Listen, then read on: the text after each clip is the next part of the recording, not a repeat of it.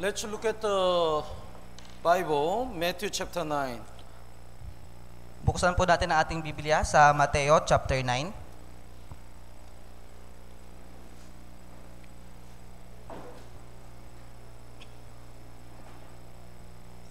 Matthew chapter 9, verse 18 to 26.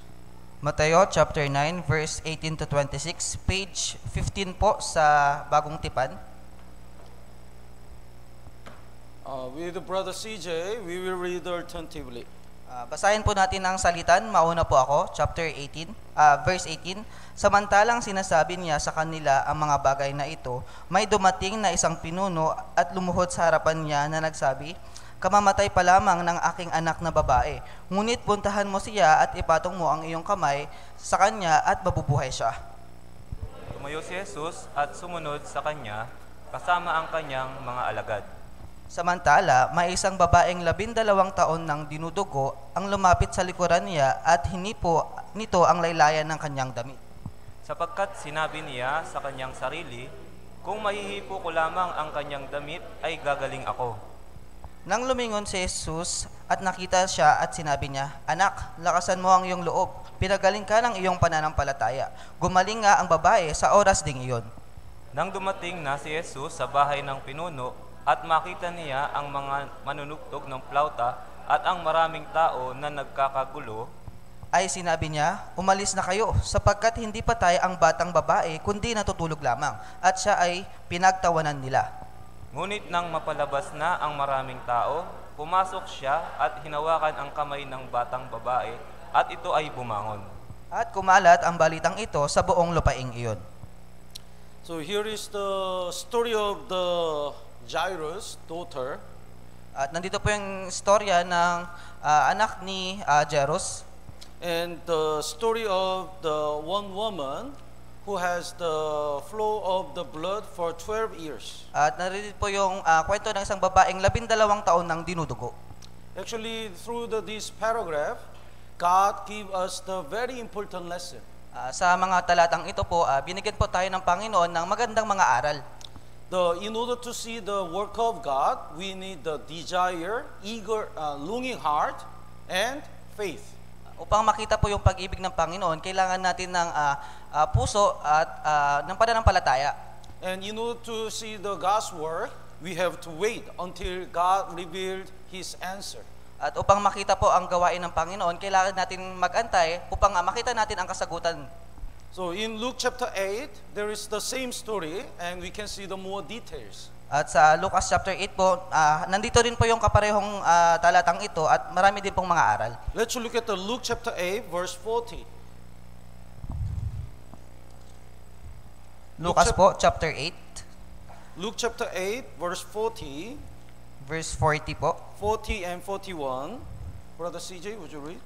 At nung bumalik si Jesus, masaya siyang tinanggap ng maraming tao, sapagkat sila lahat, silang lahat ay naghihintay sa kanya. At noon ay dumating ang isang lalaking ang pangalan ay Jairo, na isang pinuno sa sinagoga. At, lumuho, at pagluhod niya sa paanan ni Jesus, siya ay nakiusap sa kanya na pumunta sa kanyang bahay. So the Jairus, he is the ruler of synagogue. Ah, si Jairo po, siya po ang pinuno ng sinagoga. The synagogue is like a, a community which decide something important in the the society of Israel. Ang sinagoga po ay isang ah, lupain kung saan ma- ah, importanteng komunidad po sa Israel. So Jairus was a ruler of synagogue. Ah, si ah, Jairo po, siya po ang pinuno ng sinagoga. And it means he has a power and money. Ibig sabihin po dito, meron po siyang kapangyarihan at pera. He's uh, one of the high-ranking person in Israel. Siya po ay mataas na tao doon sa Israel. And he has only one daughter, 12 years old. Siya po ay may isa lamang pong anak na babae. Ah, ito po ay 12 years old. She was dying. Ah, siya po ay namatay. So the Jairus went to Jesus. Kaya po si ah, si Jesus ay pumunta kay Jairo. Here is a very important lesson. Narito po yung ah, napaka-importanting aral. Even though he has the power and money, he could save he couldn't save his daughter. Kahit napakarami ng pera at kapangyarihan, hindi niya kayang iligtas ang kanyang anak na babae. In this world, many people misunderstand. their money and power can save them and protect them. Ah, dito sa sanlibutan, napakaraming tao na inaakala na sa pamamagitan ng kanilang pera at kapangyarihan ay maliligtas sila. That's totally misunderstanding. Yun po ay maling pagkakaunawa. When they stand before God, if they don't get salvation, they'll go to hell. At kung sila ay tatayo sa harapan ng Panginoon at hindi nagkaroon ng kaligtasan, sila ay mapupunta sa impyerno. Please mark here and let's look at the Luke chapter 12. Marakahan po natin dito at pumunta po tayo sa Lucas chapter 12. Luke chapter 12, here is the rich man. Dito po sa chapter 12, nandito po yung napakayamang ah, tao. He has the, a lot of wealth. Ah, napakarami niyo pong kayamanan. That's why he cannot keep the, all his wealth in one storage. Kaya nga po, hindi niya kayang i- i- i- ipon ang lahat ng kanyang kayamanan sa isang ah, takalan. So he planned to make the new storage, the bigger storage. Kaya nga po, ay nagpaplano siyang gumawa ng bago pang ah, ah, kamalig. And then he said, the verse ni- 19, At sinabi niya po sa verse 19, would you read? At sasabihin ko sa aking kaluluwa, Kaluluwa, marami ka ng pag-aaring nakaimbak para sa maraming taon. Magpahinga ka, kumain ka, uminom ka, at magsaya ka. He said to his soul, not the flesh. Sinabi niya ito sa kanyang kaluluwa, hindi sa kanyang ah, katawan. And he said, I have so many things, so take a rest, my soul. Marami ka ng pag-aaring naka- nakaimbak para sa maraming taon. Magpahinga, pa- magpahinga ka. That's totally misunderstanding. Ito po ay maling pagkakaunawa. He thought through the money and wealth, his soul can be can take a rest. Ah, inaakala niya na sa pamamagitan ng kanyang ah, pera, ang kanyang kayamanan, ang kanyang espiritu ay makakapagpahinga. No.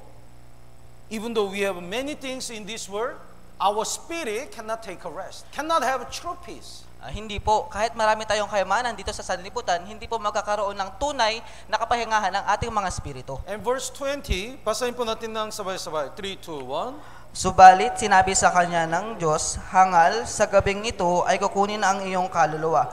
At kanino kaya mapupunta ang mga bagay na inhanda mo?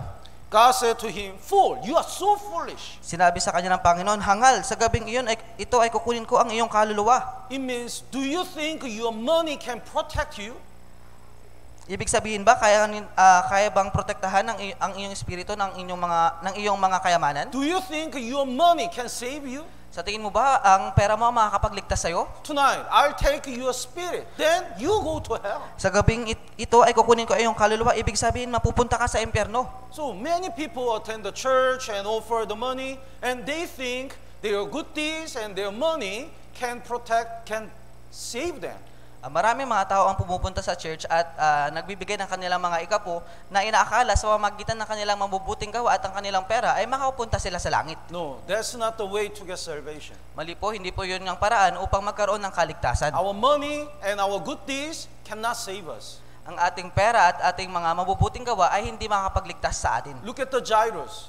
Tingnan niyo po si Jairo. He went to Jesus to save his daughter Pumunta siya kay Jesus upang iligtas ang kanyang anak. because he already knew Jesus is the only hope and only way. Dahil kanya nang nanalaman na si Jesus lamang ang, ang tanging paraan at ang tanging daan.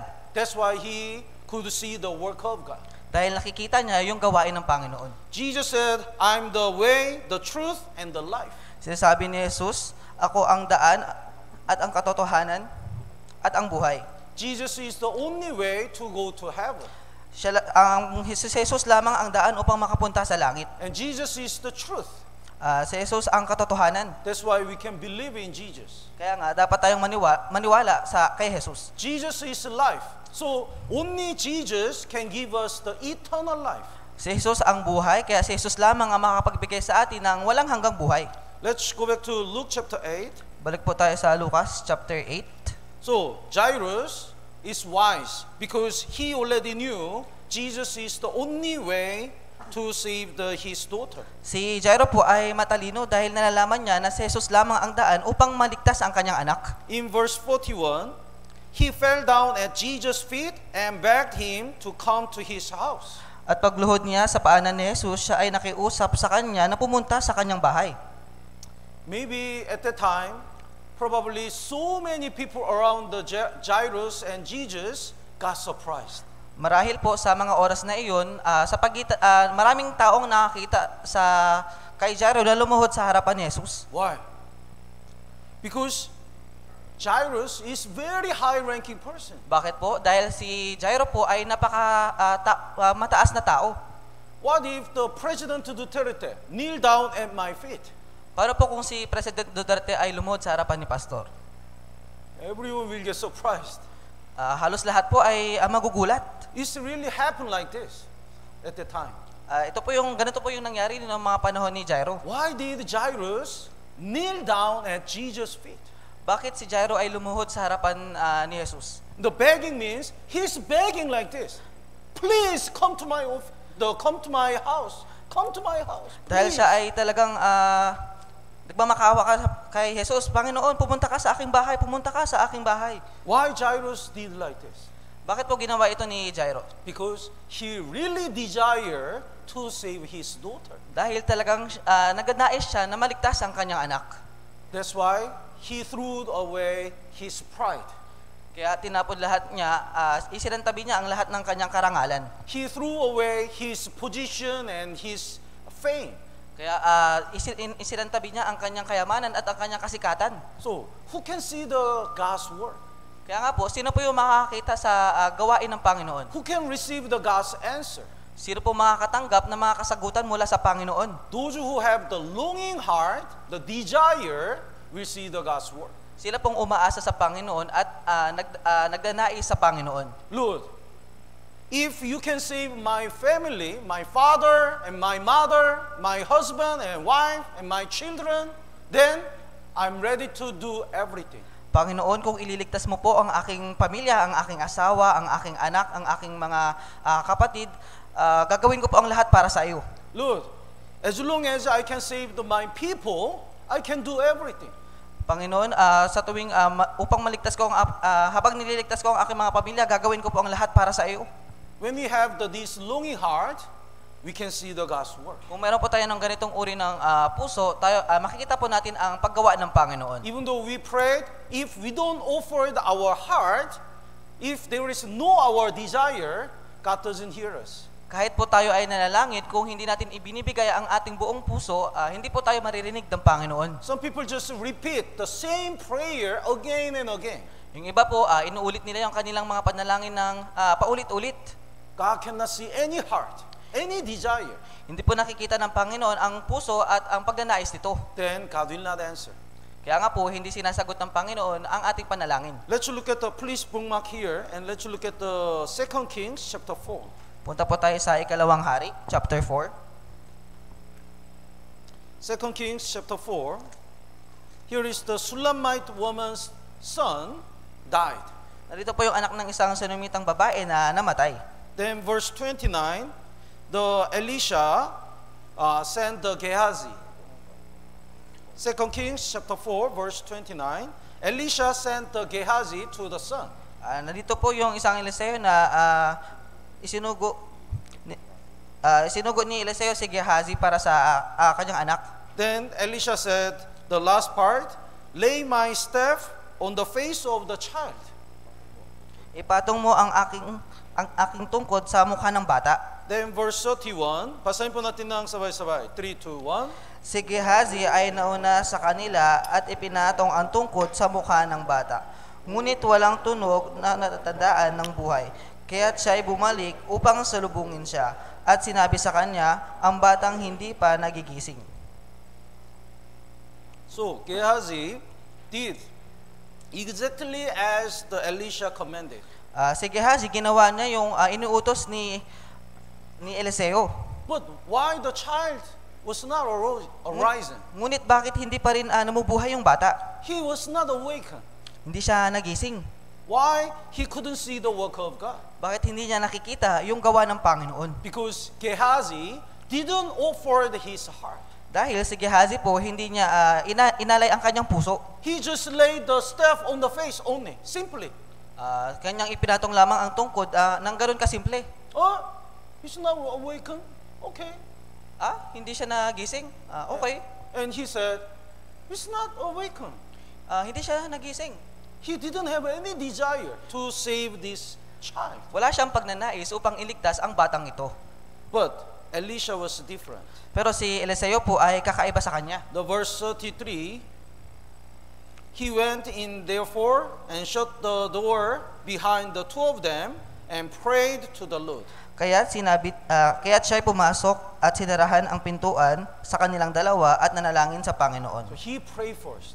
Ah, siya po ay nanalangin muna. And then the verse 34, basahin po natin ng sabay-sabay. 3, 2, 1. Pagkatapos, siya ay sumampas at dumapa sa ibabaw ng bata at dinikit ang kanyang bibig at ang kanyang mga mata sa mga mata nito at ang kanyang mga kamay sa mga kamay nito. At habang siya ay nakadapa sa kanya, ang laman ng bata ay uminit. Mouth on mouth, and eyes on eyes, eyes, and hands on hands. Ah, bibig sa bibig, mata sa mata at sa ah, kamay sa kamay. What does it mean? Ano pong ibig sabihin nito? Look, He prayed like this. Lord, take my hands and give my hands to him. Ah, nanalangin siya ng ganito, Panginoon, kunin mo po ang aking kamay at ibigay mo sa kanya ang aking kamay. Take my mouth and take my heart and give him the life. Kunin mo po ang aking ah, bibig, ang aking puso at ibigay mo sa kanya.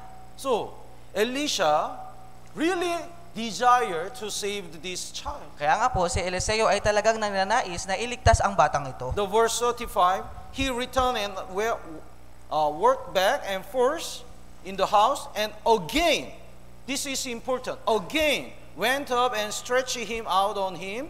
Then the child sneezed seven times, and the child opened his eyes. Muli siyang tumayo at minsang lumakad sa bahay at naparoot pa rito at sumumpa at dumapa sa ibabaw niya. At ang batang pitong ulit na bumahin at iminulat ng bata ang kanyang mga mata.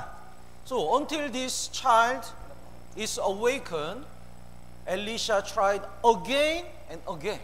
Hanggang ah, gumising po ang batang ito, si Eliseo po ay ulit na ulit-ulit niya pong ginawa ang mga bagay na iyon. So he offered all his desire, all his heart. Kaya nga po, ah, inalay niya ang kanyang buong ah, puso ah, upang maligtas ang batang iyon. Do you want to save your family? Nagnanais po ba kayo na iligtas ang inyong pamilya? Do you really want your family members to get salvation? Gusto niyo po ba talagang maligtas ang inyong pamilya? Yeah, I want, but if they don't like, I don't care. Ah, opo. Pero kung hindi nila gusto, ha, wala namang pakialam.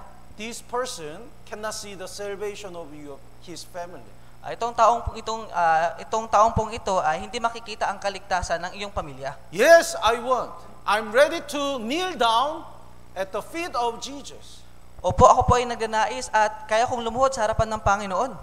Yes, Lord, I'm ready to sacrifice everything in order to save my family members. Opo, Panginoon, kaya ko pong isakripisyo ang lahat ng mga bagay upang maligtas lamang ang aking mga pamilya. These people can see the work of God. Itong uri ng mga taong pong ito, makikita nila ang gawa ng Panginoon. God look at our heart.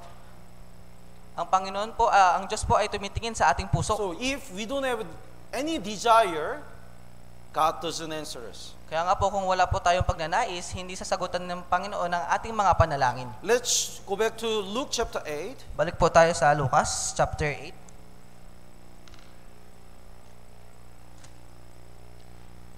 So when the Jairus begged Jesus to come to his house, Jesus said, "Okay, I'll go."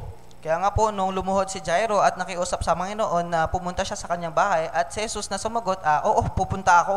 But at the time, the verse 42, would you read? Sapagkat siya ay mayroong kaisa-isang anak na babae, mga labindalawang taong gulang at ito'y naghihingalo. Sa kanya pagpunta, siniksik niya, siniksik siya ng maraming tao. So when Jesus went, the multitude thronged Jesus. Kaya nga po, nung papunta na siya sa bahay ni Jairo, ah, sinisik po siya ng maraming tao. Then the Jesus didn't heal the daughter in verse 43. Kaya nga po, hindi po na ah, pagaling ni Jesus ang babae. In, Sa, ver- in verse 54, Jesus saved this, his daughter.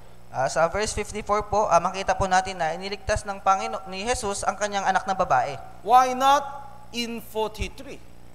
Bakit hindi po sa ah, verse 43? Suddenly, a, a one woman entered the life of Jairus. Ah, dahil po, ah, biglaan na pumasok ang isang babae sa buhay ni Jairo. The verse uh, 43, 43 and 44, basahin po natin ng sabay-sabay. 3, 2, 1. May isang babae na labindalawang taon nang dinudugo at di mapigilan ng sinuman. Na lumapit sa kanyang likuran, hinawakan ang laylayan ng kanyang damit at agad na tumigil ang kanyang pagdugo. So this woman had the flow of blood for 12 years. Ah, itong babaeng pong ito ay dinudugo siya ng mahigit sa ah, labindalawang taon na. And the, in another verse, he wasted all his money for 12 years to heal his sickness. Kaya nga po, ah, itong babaeng ito, ah, winaldas niya lahat ng kanyang pera upang mapagaling siya. So he doesn't have any hope. Ah, ngayon po ay wala na siyang Uh, she, anumang she didn't have any hope. pag-asa. Wala na po siyang pag-asa na gumaling. But, but she heard about Jesus. Pero narinig niya yung patungkol kay Jesus. So, at that time, the, the flow of blood is the dirty, uh, dirty sickness. That's why if she, uh, if she touches the place, that place becomes dirty. Ang kanyang ah, pagdudugo po, ah, ito ay ah, maduming kasalanan. Kaya nga po, kung ah, nadapuan ng dugo ang lugar na iyon, ang lugar na iyon ay madumi. So she was not come, she must not come in the multitudes. Kaya nga po, hindi siya ah, maaaring pumunta sa ah, maraming tao. But she came because she really desired to be healed. Ngunit siya ay talagang nagdanais at siya ay pumunta dahil gusto niyang gumaling. Even though people hate her and stone her and kill her, she was ready to meet Jesus. Kahit siya ay ah, galit sa kanya ang tao, binabato siya ng tao, pero talagang siyang nagdanais na makita si Jesus. And she also has the faith. Ah, dahil meron din siyang pananampalataya. Please mark here and let's look at the Mark chapter 5. Marakahan po natin dito. At pumunta po tayo sa Marcos chapter 5. Mark chapter 5, verse 27 and 28. verse 27 and 28 po. Basahin po natin ng sabay-sabay. 3, 2, 1. Narinig niya ang tungkol kay Jesus, lumapit siya sa karamihan, sa likuran niya, at hinipo ang kanyang damit. Sapagkat sinasabi niya, kung mahipo ko man lamang ang kanyang damit, ay gagaling na ako. So she has two things to to receive the Jesus answer. Ah, Kaya nga po meron siyang dalawang bagay na matatanggap mula sa kasagutan mula kay Jesus. First, she has a desire, Una po, meron siyang ah, pagnanais. and second, she has a faith. At ikalawa po, meron siyang pananampalataya. Because she has a desire, even though she was uh, risked to be killed, she came to Jesus. Dahil sa kanyang ah, pagnanais, ah, kahit na ah, iniisip niya na siya ay maaaring mamatay, pag pumunta siya kay Jesus, And she has a faith. That's why uh, she really believed if she touched the, even the edge of garment of Jesus, she could be healed. She has a faith. siya ay naniniwala at meron siyang pan, ah, pananampalataya na kapag nahipo niya yung laylayan ng damit ni Jesus, siya ay gagaling. That's why when she touched it, the blood stopped. Kaya po, nung nahawakan niya yung damit ni Jesus, ang pagtudugo niya ay huminto. Think about this. At that time, so many people through Jesus. Isipin niyo po ito, ah, sa mga panahong iyon, ah, sinisiksik po ng maraming tao si Jesus. So, so many people already touched Jesus, Kaya nga po, marami ng tao ang humihipo kay Jesus. but nothing happened to them. Ngunit walang anumang nangyari sa kanilang mga katawan. Naintindihan po? But only this woman was healed. Tanging ang babaeng lamang ito ang gumaling. Why? Bakit po? Because they didn't have desire and faith. Dahil siya lamang yung merong ah, pananampalataya at pagnanais. Jesus has a power. Si Jesus po ay may kapangyarihan. Jesus is ready to help us. Si Jesus ay handang tulungan tayo. But if we don't have any desire and any faith, we cannot see the help of Jesus. Ngunit kung wala tayong pananampalataya at pagnanais, hindi po natin makikita na gagawa ang Panginoon para sa atin. And let's go back to Luke chapter 8. Balik po tayo sa Lucas chapter 8. At the time, the Jesus looked back and asked, Who touched me? At sa mga oras ding iyon, si Jesus ay lumingon at sinabi, Sino ang humawak sa akin? Then the verse 46, Jesus says, Somebody touched me, and I perceived the power going out from me. Subalit sinabi ni Jesus, may humawak sa akin sapagkat alam kong may kapangyarihang umalis sa akin. Then, verse 47, would you read?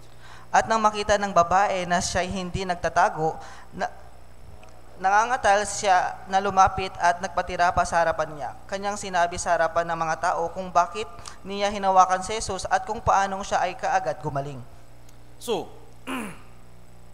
what do you think? When she shared uh, his story, does it take a short time or long time? Ano po sa tingin niyo, kung binahagi niya ang kanyang istorya, ah, umabot po ba ito ng, um, ng kaunting oras o matagal na oras? Yes.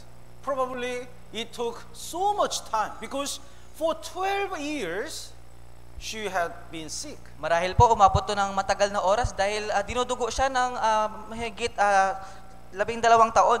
So when Jesus let her uh, share the, her story, she shared the so many stories. Kaya nga nung ah, pinagbigyan siya ni Jesus na ibahagi ang kanyang kwento, siya ay nagbahagi ng napakaraming kwento. One doctor told me if I pay the 2,000, he promised to heal me. Ah, sinabi ng isang doktor, pag binigyan ko siya ng ah, salaping ito, sabi niya, papagalingin niya ako. But when I pay, he ran away. Ngunit nung binayaran ko na siya, ayun, nagtago siya, tumakbo And siya. somebody gave me the vitamin C, but when I took it, nothing happened. Yung iba, binigyan naman ako ng gamot at ito'y aking ininom. Ngunit wala pa rin nangyari. It took so much time. Umabot po, ah, nag-google po ito ng maraming oras. Then, the verse 49. Verse 49, basahin po natin ng sabay-sabay. 3, 2, 1. Habang nagsasalita pa siya, may isang dumating na mula sa bahay ng pinuno ng sinagoga na nagsasabi, Patay na ang anak mong babae, huwag mo nang abalahin pa ang guro. While the, this woman shared the, her story, probably the, the Jairus really urgent in his heart. Ah, habang kwento ng babaeng ito ang kanyang buhay, maaari itong si Jairo ay talagang nag-aalala sa kanyang puso. Maybe he said to Jesus, Jesus, don't forget my daughter. Maaari sinabi niya kay Jesus, Jesus, huwag mong kalimutan yung ak- anak kong babae. Jesus said, I know, I know. At sumagot si Jesus, ah, oo, alam ko. But she's still talking about her story. Ngunit nakikinig pa rin siya dun sa istorya ng babae. Then Jairus looked at her, staring at her. Ah, ito si Jairo ay tumiting, tumitingin dun sa babae, tinititigan niya. Stop. Too long. Stop. Psst, tama na, masyado nang mahaba yung kwento mo. My daughter is dying. Stop. Yung anak ko mamamatay na, kaya tumigil ka na.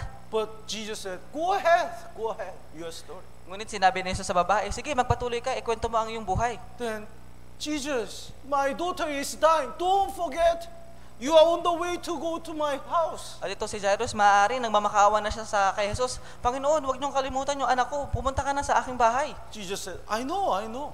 Oo, nalalaman ko, nalalaman ko. But at the time, the servant came and said, Your daughter already dead. Ah, sa mga oras ding iyon, ah, may isang ah, tauhan at lumapit na sinabi, ang anak mong babae ay namatay na. Do not trouble the teacher. It means, even though the Jesus came, it's useless. Huwag mo nang abalahin pa ang guro dahil kahit pumunta pa yung guro, wala nang ah, silbi. If I were Jairus, maybe I can complain to Jesus. Kung ako po si Jairo, maaari po ako ay ah, magrereklamo kay Jesus. Jesus, I already told you, my daughter is dying. Jesus, sinabi ko na sa iyo, yung aking anak ay mamamatay na. I already told you, you have to hurry up. Sinabi ko na sa iyo na kailangan mong magmadali. Woman, you, why you tell a story for a long time? Ikaw babae, bakit napakatagal mong ikwento ang iyong buhay? My daughter is already dead. Yung anak kong babae ay patay na. Then you don't need to come to my house. Kaya Jesus, hindi mo na kailangan pumunta sa aking bahay. We can say like this, Maari pong sinabi natin yung ganong mga bagay. but Jairus was different. Ngunit si Jairus po ay talagang kakaiba. At the time, Jesus said a very important word. Kaya nga po ito si Jesus ay talagang nagbanggit ng ah, mabuting ah, mga salita. The verse 50, basahin po natin ng sabay-sabay. 3, 2, 1. Subalit, nang marinig ito ni Jesus ay sumagot sa kanya, Huwag kang matakot, sumampalataya ka lamang at siya ay gagaling. Jesus said, Do not be afraid, only believe. Sinabi ni Jesus, huwag kang matakot, sumamanta, ah, sumampalataya ka lamang. Do not be afraid, only believe. Sumampalataya ka lamang Ah, at maniwala ka. Do not be do not be afraid. Only believe. Ah, huwag kang matakot, kundi maniwala ka.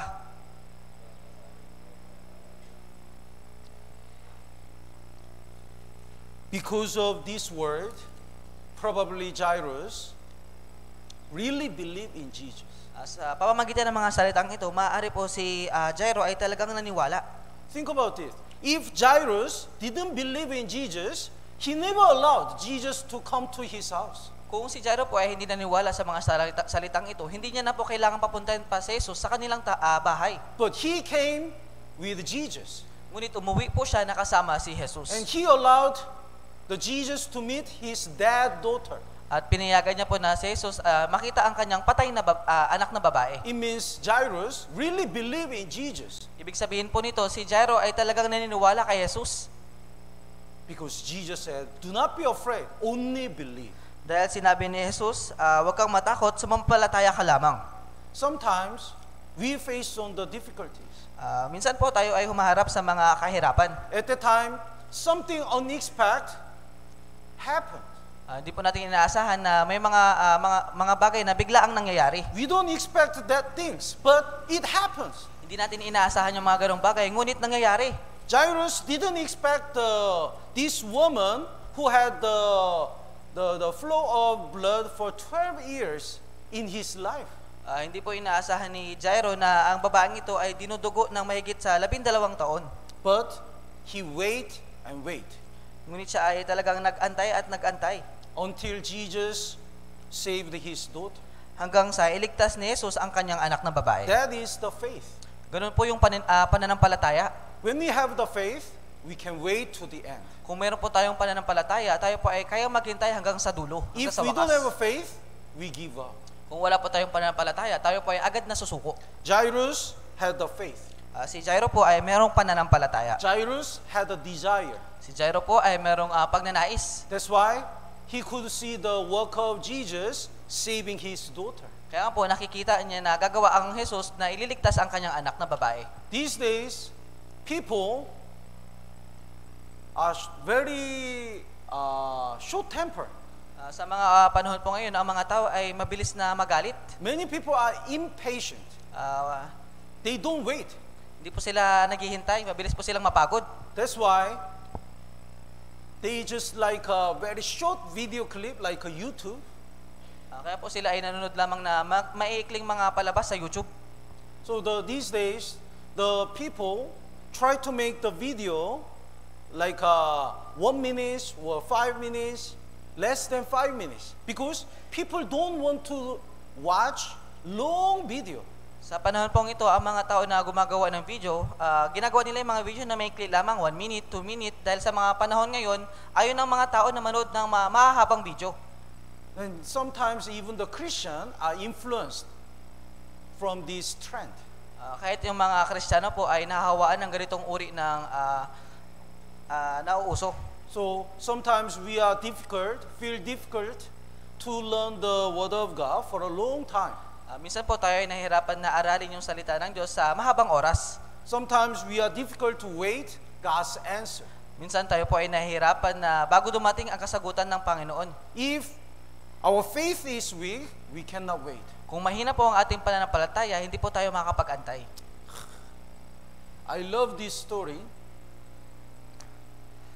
One lady live in the island Ah, sa istorya pong ito, ah, merong isang babae na nanirahan sa isang isla. and she really want to get married.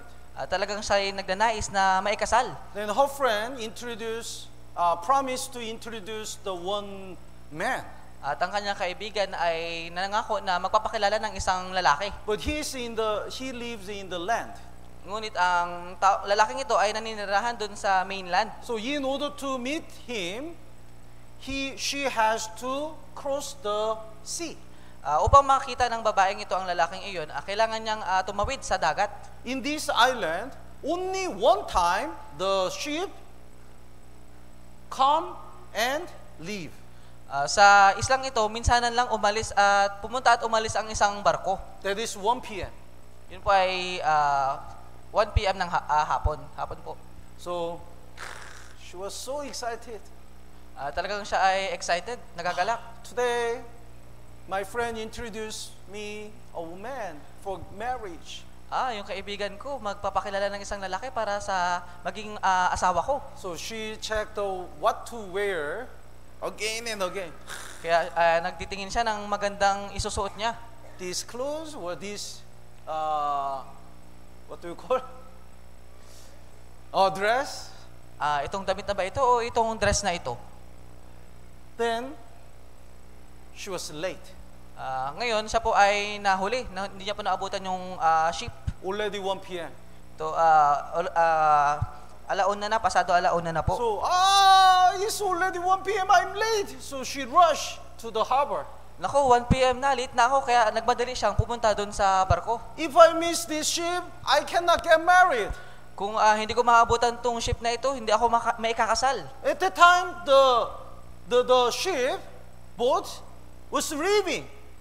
Ah, sa mga oras na iyon, ah, halos paalis na yung barko. So she cried and shout, Stop, stop, I want to get married, I want to get married. Siya ay nagsisigaw at sinasabi na, gusto kong maikasal, gusto kong maikasal. So she jumped to get in the ship Kaya siya ay tumalon upang ah, uma- ah, maabutan lamang yung ship. and she fell At in the, in the ocean. nalaglag doon sa dagat. And all, she's all wet and cried, I cannot get married. Kaya siya ay basang-basa at umiyak na, ay naku, hindi na ako maikakasal. But all other people say, why she doesn't wait only for one minute? Ah, bakit hindi siya ah, nag-antay ng kahit isang minuto lamang? Ship is arriving. Ah, Why she didn't wait? Ah, bakit siya nag-antay? Eh, paparating pa lang naman yung barko. So, the ship was not leaving, it was arriving. Ah, yung barko po, ah, paparating pa lamang, hindi papaalis pa lamang ng isla. But she didn't wait. She didn't check.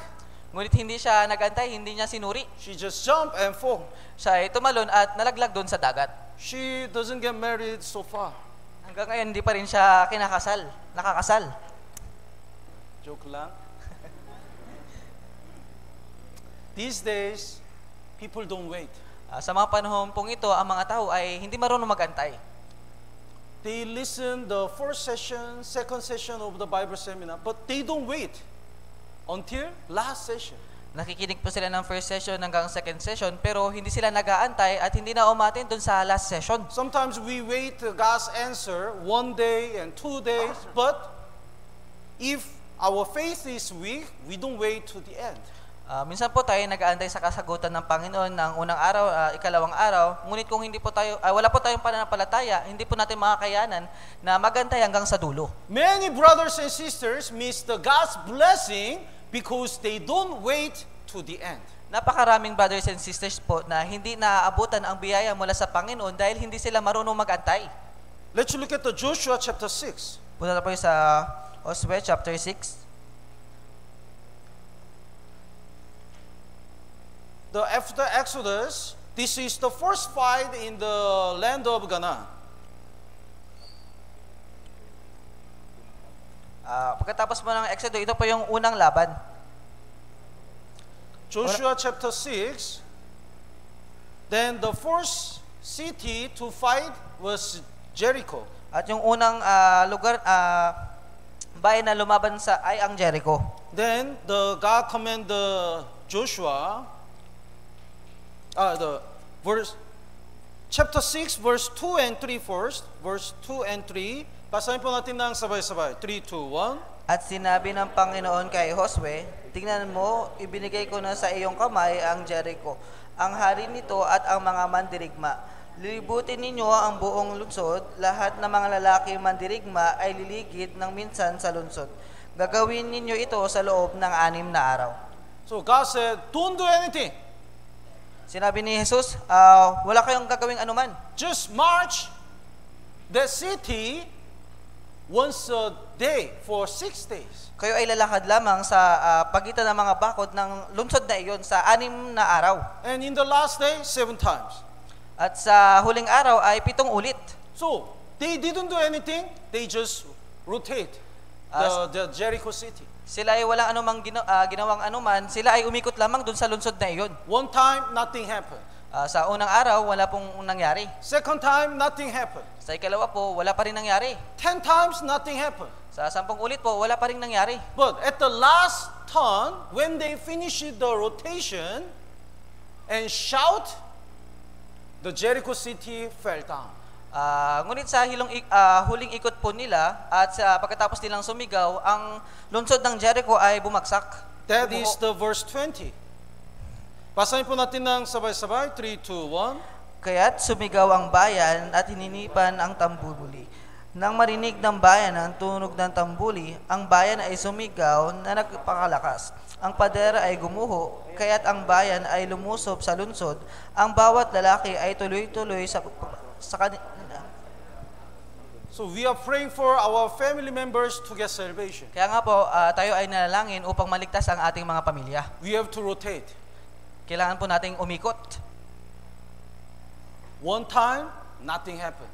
Sa unang beses po, walang mangyayari. Two times, three times, nothing happened. Sa ikalawang ulit, ikatlong ulit, wala pa rin nangyari. But pl- please believe the Jesus word. Don't be afraid, only believe. Pakiusap po, huwag kayong matakot. wa- ah, maniwala lamang po kayo sa gawa ng Panginoon. They believe the God's promise. That's why they finished the rotation to the end. Sila'y naniwala sa gawa ng Panginoon, kaya ah, umikot sila hanggang sa dulo. They believe. Then they saw the God's word. Sila'y naniwala at nakita nila ang paggawa ng Panginoon. The, in the Second Kings chapter 4, there is the general Naaman. Ah, sa ah, ikalawang hari po, chapter 4, nandun po ah, si General Naaman. He is Getongin. Ah, siya po ay ketungin. Then Elisha said, Go to the Jordan River and wash it the seven times. Ah, sinabi po ni ah, Eliseo, pumunta ka sa ilog ng Jordan at mag, maghugas ka ng pitong ulit. He washed it one time, nothing happened. Naghugas po siya ng isang beses, wala pong nangyari. Seven times, the two times and third times, nothing happened. Ikalawa, ikatlo, wala pa rin pong nangyari. But when he finished it the seventh times, last turn, his skin becomes like a flesh of the baby.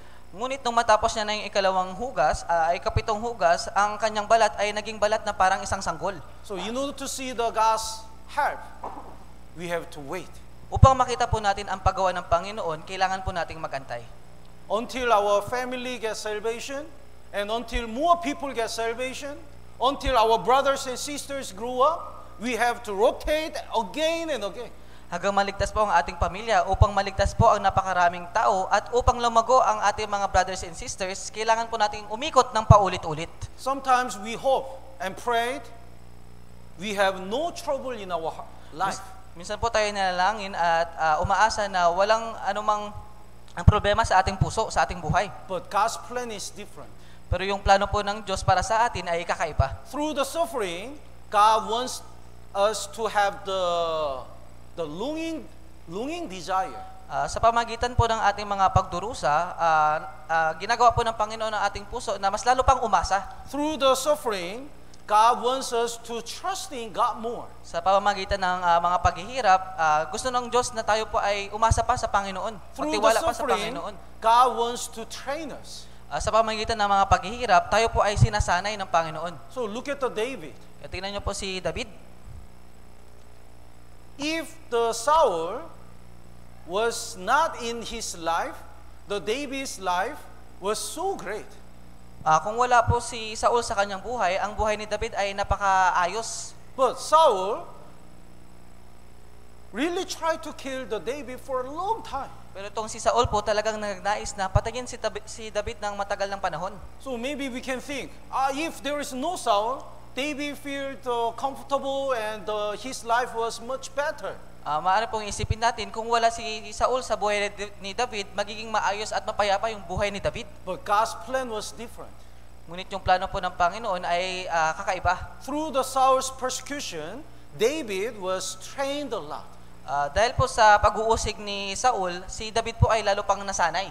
He was trained to become the king of Israel. Siya ay nasanay at ah, ah, naging ha- upang maging hari ng Israel. When he finished the time of training, God rose him as a king of Israel. Nang matapos na, na ni David ang kanyang ah, pagsasanay, ah, ah, ginawa siya ng hari ng Panginoon.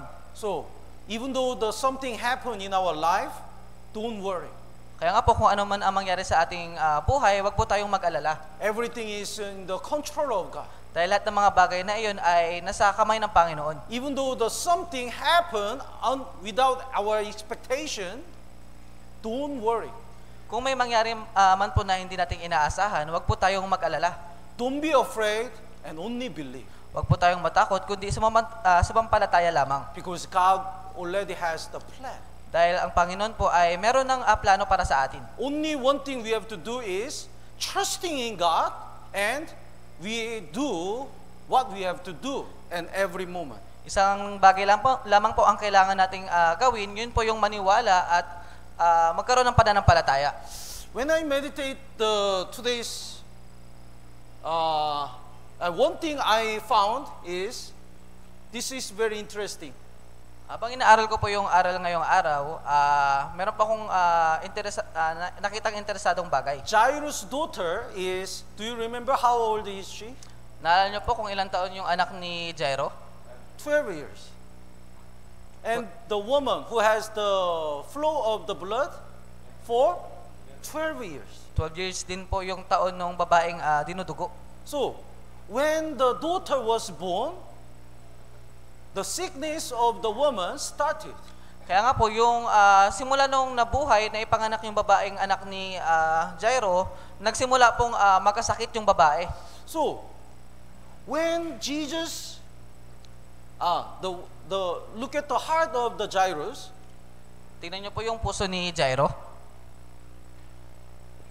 in the eyes of the Jairus, it seems like in order to listen, in order to save this woman, Jesus gave up, uh, Jesus missed the chance to save his daughter. Maaari po sa ah, paningin ni Jairo, upang maligtas ah, babaeng dinudugo, ah, pinalagpas niya na maligtas yung babaeng ah, halos na, ah, yung anak ni Jairo.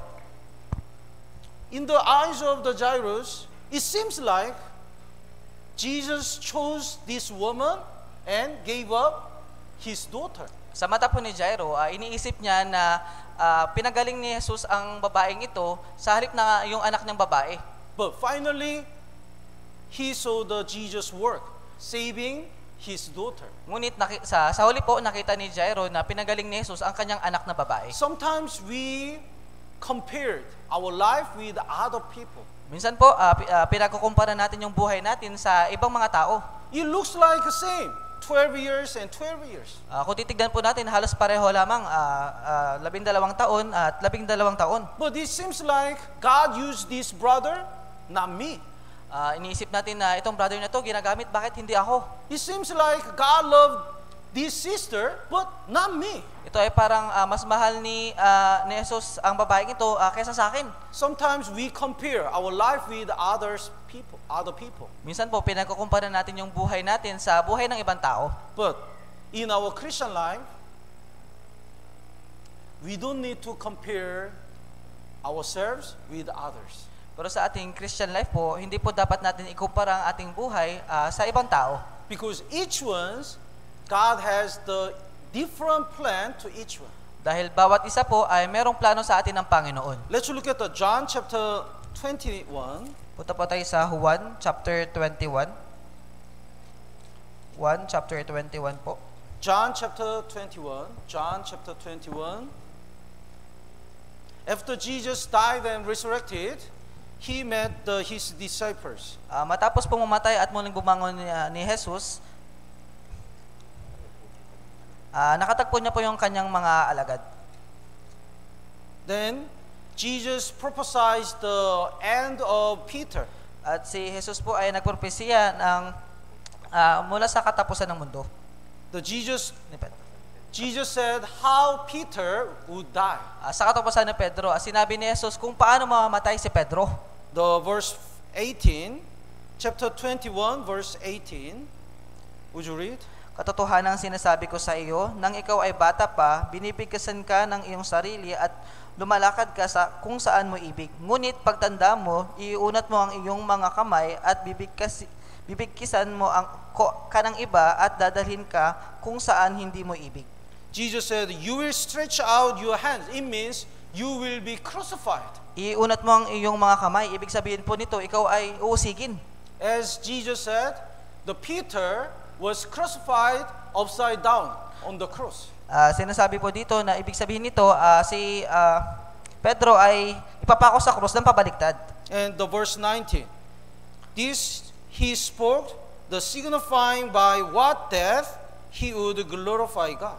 Ito ay sinabi niya upang ipahiwat, ipahiwatig kung sa anong kamatayan luluhatiin niya ang Diyos. At the time, the Peter was curious about how the how the John would die. Ah, ah, si si Pedro ay nagtataka kung paano kaya mamamatay si si Juan. How how how John will die. Ah, kung paano mamamatay si Juan. The verse 21, so he asked it, verse 21, would you read? Na makita siya ni Pred, Pedro ay sinabi niya kay Jesus, Panginoon, at paano naman ang taong ito?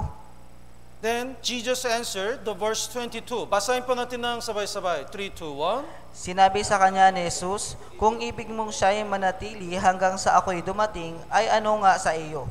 Sumunod ka sa akin. If I will that he remain till I come, what is that to you? Kung ibig kong siya'y manatili hanggang sa ako'y dumating, ay ano, ano, ano nga sa iyo? You follow me. Sumunod ka sa akin. The John has the his way, Ah, si Juan po ay nasa kanyang ah, daan, and you have the your way. at nasa iyo ang iyong daan.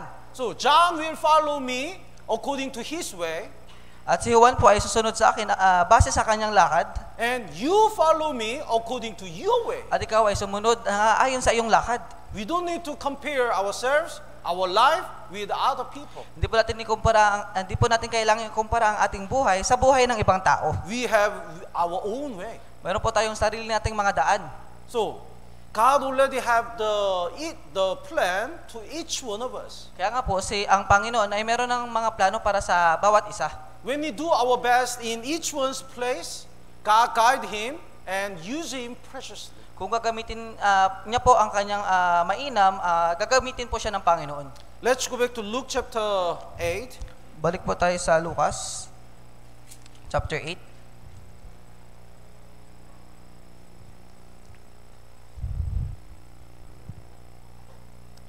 The verse 51, 52, Jesus came to the Jairus house. And verse 52 and 53, basahin po natin ng sabay-sabay. 3, 2, 1. Umiiyak ang lahat at inisan siya. Subalit sinabi ni Jesus, huwag kayong umiyak sapagkat siya'y hindi patay, kundi natutulog. At kanilang pinagtawanan siya dahil ang alam nila ay patay na ang bata. The Jesus said, she's not dead, Sinab- sleeping. Sinabi ni Jesus, siya ay hindi patay, kundi natutulog lamang. At the time, people left. Sa mga oras na yon, maraming tao ang pinagtawanan siya. Because the Bible says, they know that she was dead. Dahil sinasabi dito sa Biblia, nalalaman na nila na yung babaeng yun ay patay na. So they thought they know. She, they know something. Ah, iniisip ng mga ibang tao na alam nila yung mga bagay na iyon. That's why they left at Jesus. At kaya sila ay tumawa at pinagtawanan si Jesus. So who was right? Ngunit sino po yung tama? Jesus was right or these people were right? Yung mga taong iyon ba o si Jesus? Jesus was right. Si Jesus po yung tama. They thought they knew she is dead, but they were wrong. Iniisip nila na sila ay tama, napatay na yung babaeng iyon, ngunit sila ay mga ah, mali. Jesus was right. Si Jesus po yung tama. Even these days, people think they know something. Ah, kahit po sa mga ah, panahong ito, napakaraming tao na in- may, meron silang kaalaman. That's why they left at Christian and Jesus. Ah, pinagtatawan nila yung mga Kristiyano at si Jesus. The, let's look at the Isaiah chapter 55. Punta po tayo sa isa Iyas, chapter 55 po. Isaiah chapter 55, verse 8 and 9. Would you read? Sapagkat ang aking mga pag-iisip ay hindi nyo, hindi ninyo mga pag-iisip, ni ang iyong mga pamamaraan ay aking mga pamamaraan, sabi ng Panginoon. Sapagkat kung paanong ang langit ay higit na mataas kaysa lupa, gayon ang aking mga pamamaraan ay higit na mataas kaysa inyong mga pamamaraan, at ang aking mga pag-iisip kaysa inyong mga pag-iisip. People have the, their own idea. Yung mga tao po, meron po sila mga sariling idea. But God has God's I, I, God's way and God's thoughts are much higher than ours. Ngunit yung gawa ng Panginoon at pag-iisip ng Panginoon ay higit kaysa mga tao. Then who is right? Ah, kaya nga po, sino po yung tama? God's way is right. Kaya nga po yung ah, gawa ng Panginoon, yung ah, daan ng Panginoon yung tama. God's thoughts is right. Ah, yung mga iniisip po ng Panginoon yung tama. Let's look at the Isaiah chapter 1 verse 18. Isaiah po, chapter 1, Verse 18. verse 18 po. Chapter 1 verse 18. God said, "Come now and let us reason together." Sinabi niya ang Panginoon, pumarito kayo ngayon at tayo yung mag, mga tuwiran sa isa't isa. It means let us debate. Ibig sabihin po dito tayo ay magtalo-talo. Let us uh, let us debate, discuss who is right. You are right or I'm right. Lat, ah, tayong ah, ating pag-usapan kung sinong tama, kung kayo ba o ako. And next part, basahin po natin na sabay-sabay. 3, 2, 1. Bagaman ang iyong mga kasalanan ay tulad ng matingkad na pula, ang mga ito ay magiging mapuputi na parang niebe. Bagaman ito ay mapulang mapula, ang mga ito ay magiging parang balahibo ng tupa. So, though your sins are like a scarlet, even though your sins are red and blood blooded, I already make that sins as white as snow. Bagaman ang inyong mga kasalanan ay tulad ng matingkad na pula, ang mga ito ay magiging maputi na parang niebe. So some people say,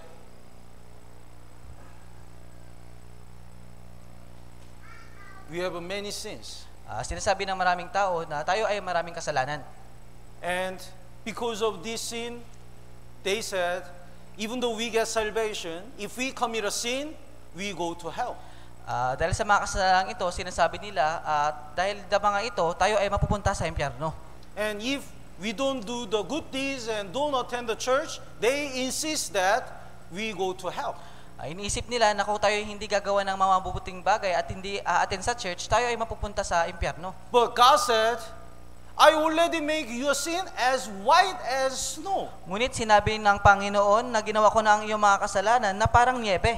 It means your sins are already forgiven. Ibig sabihin po nito, ang iyong mga kasalanan ay napatawad na. And who is right? Ngayon po, sino po yung tama? God is right. Ang Panginoon po yung tama. That's why God said, Come now and let's debate. Kaya sinabi ng Panginoon, "Ah, halika rito at tayo um, ah, mga tuweran sa isa't isa. You said you lost your salvation if we commit a sin, but I already forgave all your sins. Who Sinas- is right? Sinasabi mo na pag nakagawa ka ng kasalanan ay mamawala ang iyong kaligtasan. Sa tingin mo, sino ang tama sa atin? Who is right? Who is right? Sino po yung tama? God is right. Ang Let's Panginoon look at the. Luke chapter 21. Lucas po, chapter 21.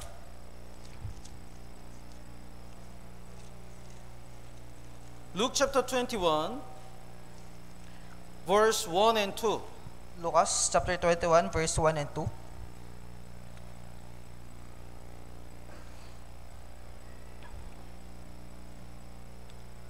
Basahin po natin ng sabay-sabay. 3, 2, 1. Siya'y tumingala at nakita niya ang mga mayan na naglalagay ng kanilang mga handog sa kabangyaman. Nakita rin niya ang isang mahirap na babaeng balo na naglalagay ng dalawang kusing. So there was the poor widow, Ah, narito po yung ah, babaeng balo. and she offered the two mites. Ah, siya ay naglagay lamang ng dalawang kusing. The two mites is like a, uh,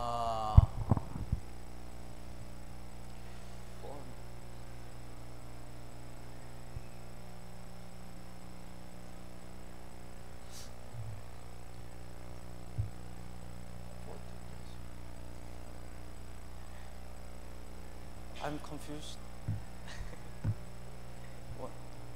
Let, let me calculate. 1,000 is 20, uh, 4, 400.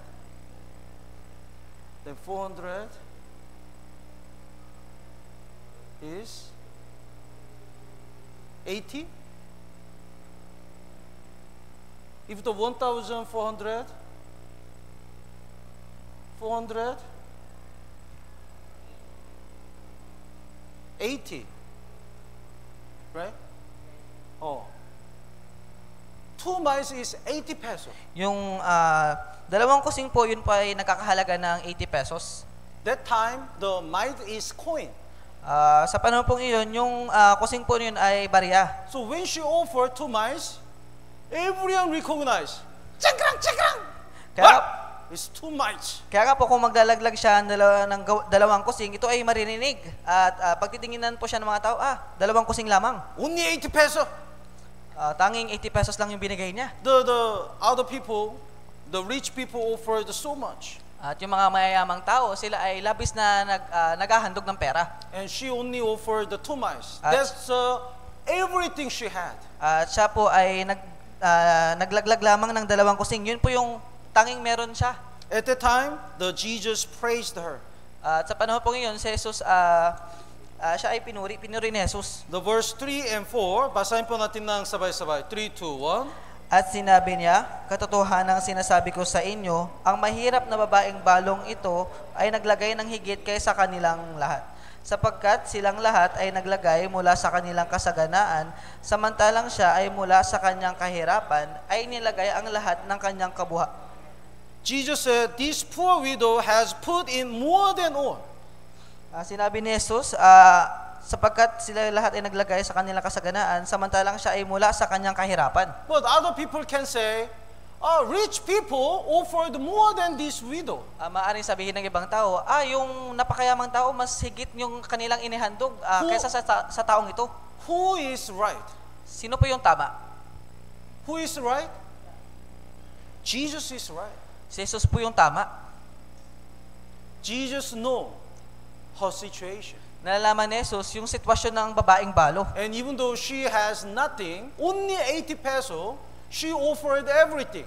Ah, kahit siya ay walang anuman ah, at meron lamang siyang ah, dalawang kusing, ibig sabihin po nito, ibinigay niya lahat ng meron siya. Other rich people saved much and offered konti. Ah, mga, ang mga mayamang tao, sila ay ah, nagtatabi ng para sa kanila na mas marami kaysa sa inaalay nila. Even though it looks like rich people offered more than this poor widow, Jesus doesn't say like this. Kung titignan, ah, nagbumukhang mas maraming ibinibigay yung ah, mga mayayamang tao kaysa sa babaeng balong ito.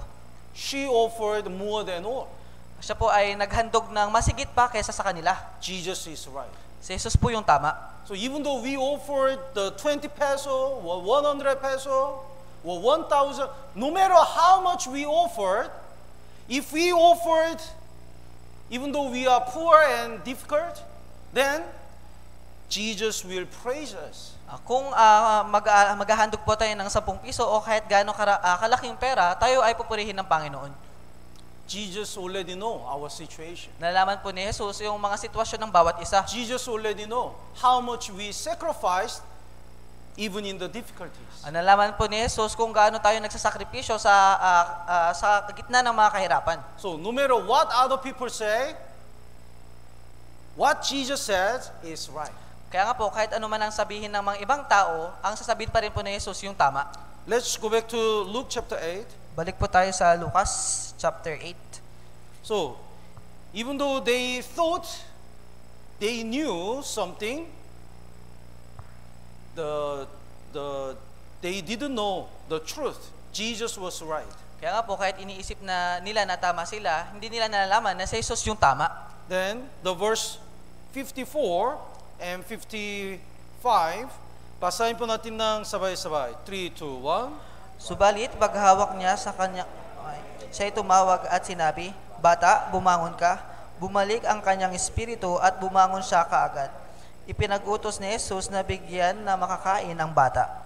When Jesus said, little girl, arise, then the spirit returned. Nang sinabi ni Jesus, Bata, bumangon ka, ah, bumalik ang kanyang espiritu at bumangon siya kaagad. Then she arose immediately. Siya ay bumangon po kaagad. After she was arose, arisen, what did Jesus command? Ah, nung siya po ay bumangon, ano po yung pinag-utos ni Jesus? The last part, he commanded that she be given something to eat. Ipinag-utos ni Jesus na bigyan siya ng, maka- ng makakain.